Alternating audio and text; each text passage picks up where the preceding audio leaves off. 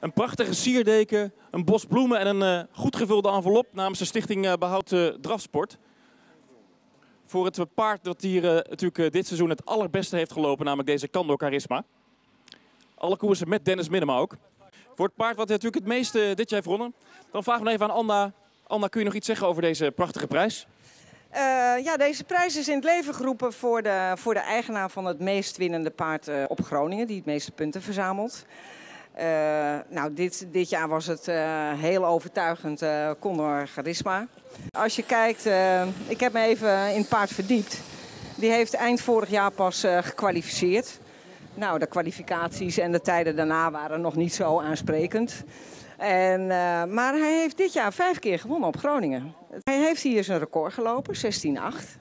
Dus ik denk dat jullie nog heel veel plezier gaan hebben van dit paard. Hij is groot. Ik denk nog lang niet sterk genoeg. En ik denk dat we het Peert van Omeloeks op alle banen terug gaan zien. Ook als winnaar. Ik wil de familie Krijnen heel erg feliciteren. En bedanken dat jullie eh, nou eigenlijk altijd ingeschreven hebben hier op Groningen.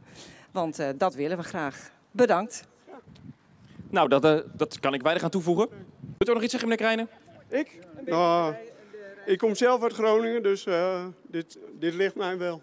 Ik vind Nou. het hartstikke leuk. Kijk, hij vindt het hartstikke leuk. Dat vinden wij ook. Hartelijk dank dat u iedere keer het paard wilde inschrijven. En ook alle andere charisma-paarden natuurlijk die hier eh, dit jaar op de baan eh, prachtige dingen hebben laten zien.